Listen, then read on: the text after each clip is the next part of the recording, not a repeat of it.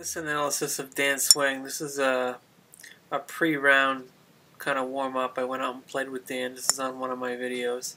I spent about five minutes with him trying to help him out.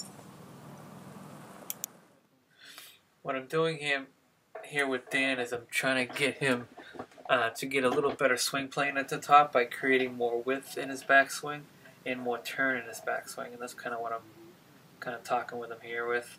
You know, get that club wider and then let that club come in that position more behind him opposed to he likes to bring it straight up and gets very steep.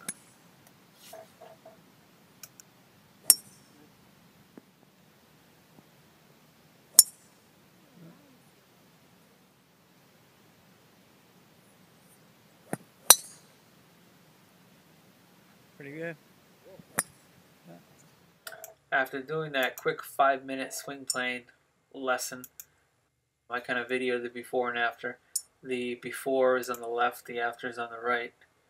And I'm going to show you a few differences here, just on that little, just on the little tips. As you see at the top of the swing, on the left side, you can see that handle down by his chin. On the right side, you can see the handle up by his eyes.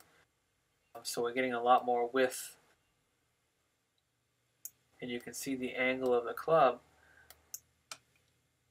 about five, six degrees flatter on the the after side, on the right hand side, which is going to make a, a pretty big difference in how he's going to contact these longer clubs, especially.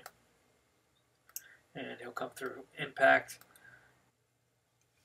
Again, his impact's pretty similar. You see in the finish, again, on the after side, that actually gets that club a lot more on plane on the finish end of it.